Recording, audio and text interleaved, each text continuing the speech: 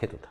저는 철학의 영역에 있어서 엄청나게 과학적 태도를 견지합니다. 어느 과학자보다 저는 증명한 것만 인정하고 증명하지 못한 거 받아들이지 않아요. 그게 제 태도예요. 저만큼 입증이나 증명 중시하는 과학자도 저는 본 적이 없어요. 제가 아는 과학자들 보면 다 그 본인들 고정관념에 빠져가지고 결국 뭐 황당한 상상들 잘 하시는 분들이 과학을 하고 계시더라고요. 카이스트에서 교수님들 만났죠. 기에 대해서요, 과학, 길, 그, 길을 실험할 수 있다고 얘기하시는데, 전혀 기에 대한 어떤 기본 이론도 안 되신 분들이 갑자기 길을 입증하겠다 막 주장하시더라고요.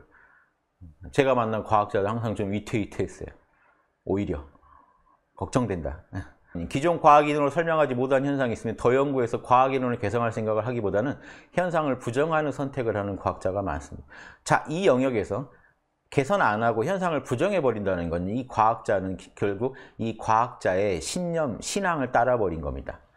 결국 저 과학자의 철학과 신앙 이거 못 받아들이겠어라는 그 순간에는 과학자가 아닌 거예요. 맹신, 미신에 흔들린 존재가 돼버려요. 그러니까 과학자가 하는 말이라고 과학적인 얘기가 아니에요.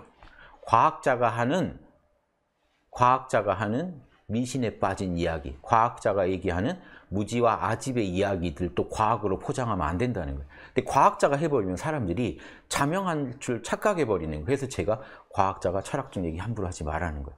사람들은 그걸 자명한 얘기인 줄 알고 믿게 되니까. 요즘 과학자들이 자주 하는 말, 그 책들 나오는 거 보셨어요? 생각이라는 게 없대요, 여러분. 생각이라는 착각. 생각은 착각이래요. 그냥 데이터의 연산만 있지 생각이라는 건 없대요. 이렇게 질러버린다니까요. 생각이 없대요. 당신은 지금 생각하고 있는 게 아니라는 거예요. 생각한다는 착각을 하고 있지.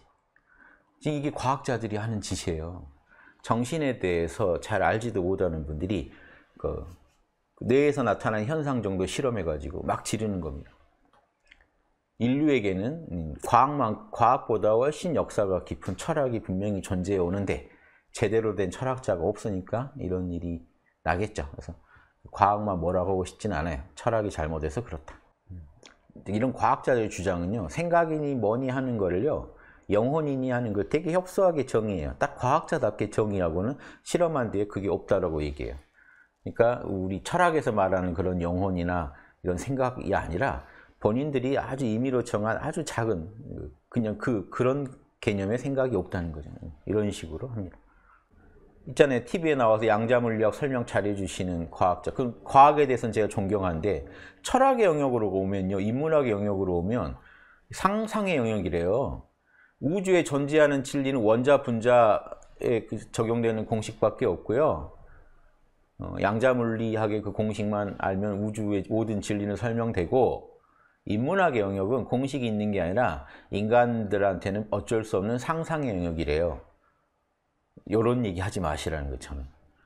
과학만 하시라 깔끔하게. 내가 과학자다운 모습이에요. 과학자. 내가 과학자로서 정신세계에 대해서는 잘 모르겠고 실험 가능한 데이터 있는 거 가지고 이, 이 현상화되는 거 가지고 내가 실험하고 연구할 수 있는데 그게 과학의 영역인데 과학의 영역에서는 이 법칙만 발견됩니다. 이렇게 얘기하면 제가 자명합니다라고 할 건데 그 얘기를 딱 하다가 갑자기 어, 그럼 정신세계에 대한 이런 얘기는 상상입니다. 라고 하면 에너지체도 개발해보고 막 견성도 해보고 양심 공부도 다 해본 뒤에 해보고 나니 모든 어, 가설과 실험을 다, 어, 다 연구해보고 나니 상상입디다 이러면 제가 또 그 말씀 경청해야 돼요. 뭐 이유가 있겠지. 근데 해보지 않은 영역에 대해서 실험해보지 않고 그냥 과학에서 배운 지식을 가지고 추측해가지고 상상일 거다라고 해버리면 과학자의 영역을 넘어선 겁니다. 요, 요런 대표적인 게 스티븐 호킹이 신은 존재하지 않다든가 우주에 윤리 법칙이 없고 물리 법칙만 있다든가 이런 말들은 과학자가 할 말들이 아니에요. 과학자는 내가 연구한 영역 안에서는 이 공식이 먹히더라 이 말만 하면 돼요. 왜 갑자기 신의 영역으로 나아가고 왜 갑자기 예, 윤리 영역으로 왜 나가요? 거기는 본인들이 연구한 전공 분야가 아닌데 이 얘기는 철학이 잘못한 거예요. 철학이 중심을 못 잡으니까 과학자들도 철학 공부를 못 하니까 그렇게 얘기하게 된 거죠. 어, 과학이 최고인 줄 알고 과학밖에 학문이 없다 생각하고 하다 보니까 그렇게 된 거니까 철학의 잘못이고 근본적으로는 이제 제 잘못이다. 그분들한테 빨리 철학을 어, 이게 철학입니다고 맛을 못 보여드린 제 잘못이라고 생각합니다. 똑같죠? 철학만 공부한 분들이 과학 물리 법칙을 마음대로 양자 물리학의 그 관측이라는 건 절대 우리가 말하는 알아차림 이런 게 아닌데 그 관측 갖다가 막 알아차리는 대로 우주가 창조된다든가 하는데 막 사이비 종교들이 흔히 갖다 써먹는 게 과학의 이론을 마음대로 해석해서 갖다 써먹거든요. 고짓거리도 절대 하면 안 된다. 철학이 과학 법칙 함부로 들먹여도 안 된다. 과학은 증명 못하는 거 못 믿는다 하면은 증명 자기 증명할 수 없는 영역에 대해서 말하지 말라는 거예요. 확실히 아니라고 증명이 되는 영역만 얘기하면 되죠. 과학적이지 않은 태도인 거예요. 저는 과학자의 철학하기를 비판하는 게그 과학적인 태도가 아니라는 거예요. 실험해 봤어요? 음. 증명 못 한다고요? 지금 제가 얘기한 대로 참나 각성 실험해 가지고 입증하면 돼요. 에너지요? 에너지 입증 제일 쉬워요. 과학자들 호흡 1분 호흡도 아니 20초 호흡만 하면 단전에 에너지 생기잖아요. 과학자들이 미쳐요. 날뛰입니다. 더 신기해요. 황당하죠. 과학자들이 더 신기해요. 여러분. 여러분 참나 체험하고 에너지 체험했을 때 과학자나 의사분들 더 신기해합니다.